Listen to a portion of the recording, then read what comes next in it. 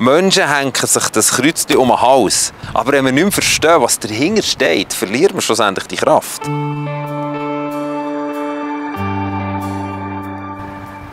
Viele tragen es um den Hals. Das Kreuz. Und symbolisieren damit die Zugehörigkeit zum christlichen Glauben. Andere stellen es auf das Dach hoch, wie in vielen Kirchen. Schlussendlich sind wir irgendwo in der Schweiz natürlich speziell privilegiert, weil wir in unserem Schweizer Wappen das Kreuz sowieso drin haben. Und wir gewannen uns langsam so dran, sagen, ja, das Kreuz, ja, ja, genau, das Kreuz ist einfach, das Kreuz ist ein Teil von unserer Kultur. Aber oft haben wir nicht verstanden, was das Kreuz ist, weil das Kreuz symbolisiert nicht nur etwas, sondern es schärft auch etwas. Der Mohammed, der Gründer des Islam, hat ganz klar gesagt, wortwörtlich, das Kreuz muss beseitigt werden. Also wir sehen es manchmal so bei alltäglichen Geschichten, wie zum Beispiel bei Real Madrid, wo das Logo ist, dass sie so eine Krone haben, oben drauf ein kleines Kreuzchen. Wo Investoren sich aus dem islamischen Bereich haben sie gesagt, wir werden keine Franken investieren, wenn nicht das Kreuzchen verschwindet. Zum Glück sind auch viele aufgestanden und gesagt, das kommt nicht in Frage. Aber schaut, so glaube ich, das Kreuz hat so eine Power. Und über das werden wir uns ein paar Gedanken machen. Der Paulus schreibt uns im 1. Korinther 1,18 etwas über die provozierende, positiv provozierende Kraft vom Kreuz. Das heißt, denn das Wort vom Kreuz ist denen, die verloren gehen, Torheit. Uns aber, die wir gerettet werden, ist es Gottes Kraft. Im Kreuz symbolisiert Jesus nicht nur seine Kraft, sondern es ist auch unsere Kraft. Menschen hängen sich das Kreuz um den Hals oder irgendwo her. Wir gehen zum Kreuz, das sagen wir ja oft so.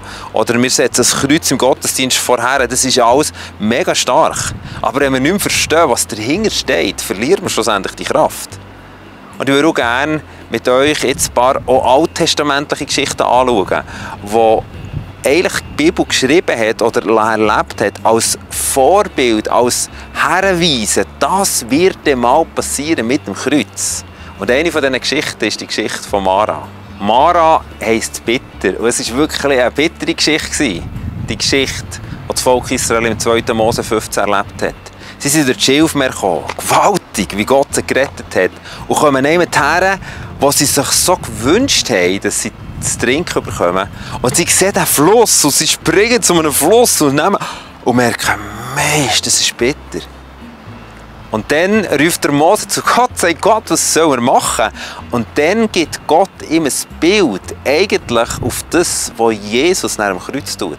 Er sagt, nimm ein bisschen Holz. Das hat keinen Sinn gemacht. Rein physikalisch macht es keinen Sinn. Aber er sagt, nimm ein bisschen Holz und schieß den in das Wasser rein und dann wird das Wasser verändert werden.